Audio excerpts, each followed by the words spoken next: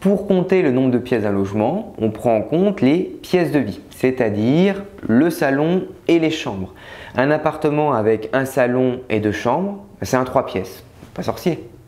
D'accord, donc je ne prends en compte ni la cuisine ni la salle de bain. Ni les toilettes. Les pièces dites d'eau ne sont pas comptabilisées dans le nombre des pièces d'un logement. C'est la même chose pour les pièces dites de service comme les entrées, les buanderies, les celliers, les chaufferies, les caves ou euh, les sous-sols non aménagés. Dans l'appart que je vends, il y a une pièce qui doit faire 7, mètres carrés. Moi, moi je m'en sers comme bureau.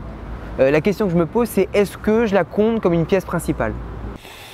Vous avez tout intérêt à ne pas comptabiliser une très petite pièce dans le nombre des pièces principales de votre logement.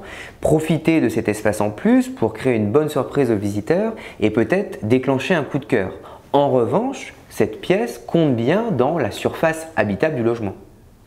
Et qu'en est-il des pièces euh, en enfilade? Bon, d'abord, les pièces en enfilade, ce sont celles auxquelles vous ne pouvez accéder qu'en passant par une autre pièce de votre logement. Et bon, concrètement, c'est pas le top. Notre conseil, c'est de les compter comme de vraies pièces, mais de préciser cette particularité dans votre annonce afin d'éviter une déception lors des visites. Autre question, est-ce qu'un double séjour, ça compte pour deux pièces? Bon, on admet qu'un salon de plus de 30 mètres carrés compte pour deux pièces. Donc logiquement, pour un très grand espace de vie, un salon de plus de 4 mètres carrés par exemple, vous pouvez compter 3 pièces. Et une mezzanine, est-ce que ça compte pour une pièce? Ah oui, oui, le fait que cette pièce soit ouverte sur une autre ne fait pas obstacle à ce qu'on la considère comme une pièce principale. En revanche, il faut qu'elle offre une hauteur sous plafond d'au moins 1m80. Il se trouve que j'ai aussi une loggia. Est-ce que je la compte comme une vraie pièce?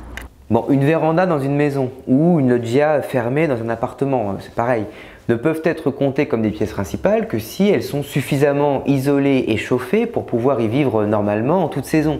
Si c'est un frigo l'hiver et un four l'été, bah, on ne peut pas les considérer comme des pièces principales. Ah non.